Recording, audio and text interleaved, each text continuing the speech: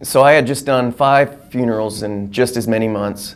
Two of those funerals were for children under five years old. And I, I don't know what these families do in the midst of such grief. I remember looking at, at Elena's parents and Tommy's parents, thinking, how are they dealing with this grief, this pain, this sadness, especially heading into the holidays? And I felt led and prompted to write a song called The Sweetest Gift because I know there are people at the holidays who don't want to celebrate Christmas. It's just too painful. And I felt like God was speaking to my heart saying, I'm going to give you a song that will help people who don't want to celebrate Christmas have a reason to celebrate. And so I wrote this song with uh, Tommy in mind, with Elena in mind, with their families in mind. And what's amazing is God has taken these two little lives and He's used tragic stories to bring hope to millions of people all over the world.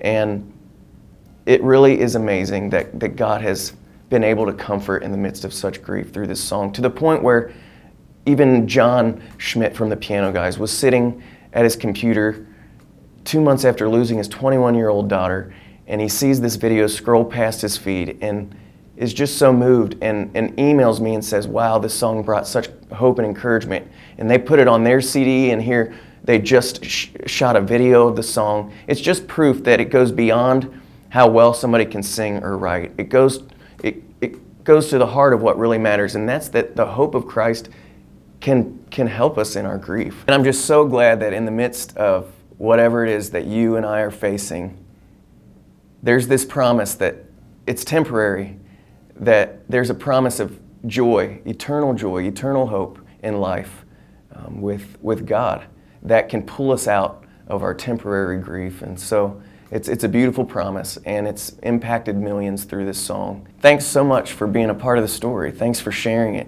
Uh, by just sharing it and encouraging others in your own life that are going through things, you are a part of this story. Thanks for sharing the hope of Christ with me.